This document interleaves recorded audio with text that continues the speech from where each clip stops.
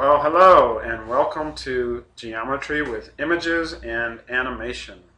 Today our focus is going to be on circles.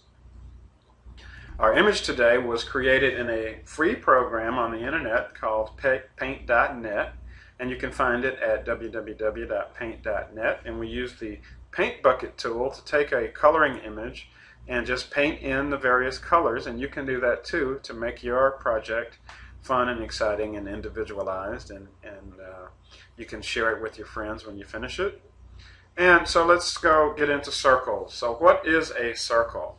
A circle is a geometric figure in which all points on the edge of the shape are equally distant from the center point.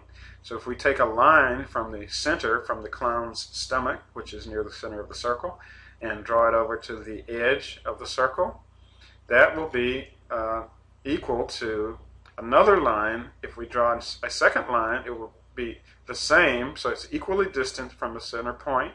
And if we add another one, it's the same. It's always the same from the center point to the edge, and that defines our circle. A circle is also two-dimensional. It has length and width, and if we uh, draw the length, it's always going to be the same. If we measure the length, it's always going to be the same as the width. So if our length is 2, for example, guess what? Our width will also be 2. They're always the same. Today we're going to look at perimeter and area. Remember we did the perimeter of a rectangle if you saw our video on that one. And in the case of circles, the perimeter is called the circumference. So that's the term we're going to use today, circumference. And the circumference is the edge of the circle, represented here by the thick yellow line.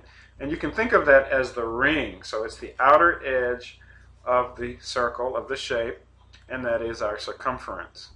And if we look at area, the area is defined as the space inside the edge or the ring, represented by our clown photo that we colored in.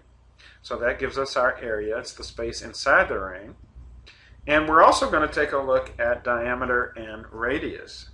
The diameter is a line from one edge to the next, from edge to edge, through the center point. And that's the key. It has to go through the center point. So if we draw a line from one edge to the other through the clown's stomach, through the middle of the photo, the center point, that will give us our diameter. And guess what? If we draw another line and another line and another line, if we always go through the center point, that diameter will always be the same. Now the radius is the line from the center point to the edge, again from our clown's stomach to the edge, and that gives us our radius. And again, if we draw another line, that's going to be the same. And another one, that's always going to be, the radius will always be the same if we go from the center point to the edge of our circle. So let's look a look, take a look at the relationship between the diameter and the radius. The diameter is 2 times the radius, which is, can be written as d equals 2 times r. And if we look at it from the standpoint of the radius, the radius is equal to 1 half the diameter, which can be written as r equals 1 half of d. So this is our, our diameter and our radius. We need to remember that. That's very important as we go forward.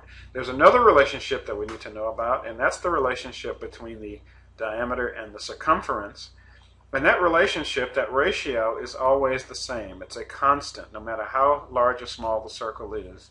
If we divide the diameter, if we divide the circumference by the diameter, it's always going to be the same.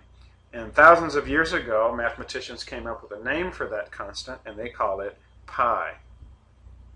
Now, pi, the relationship between the circumference and the diameter, is always 3.14. So they actually figured out what that is, what that relationship is, that ratio, and it's a number, 3.14 dot dot dot. It's a very long number, but for our purposes, we can use 3.14. So let's take a look at our circle on the left, the largest circle, and if we divided the circumference by the diameter, it would be pi, 3.14.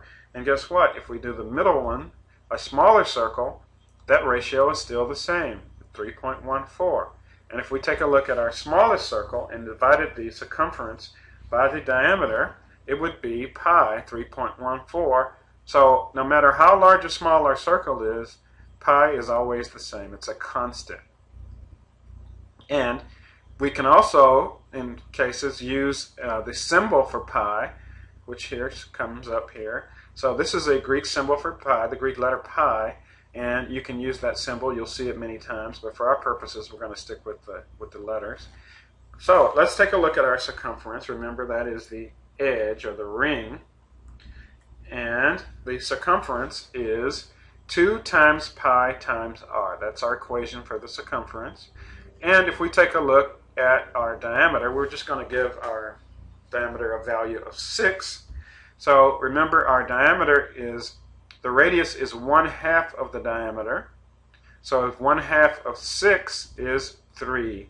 So that gives us a radius of 3. If our diameter is 6, our radius is 3. So let's apply it to our formula. The circumference is 2 times 3.14 times 3. That gives us a value of 18.84.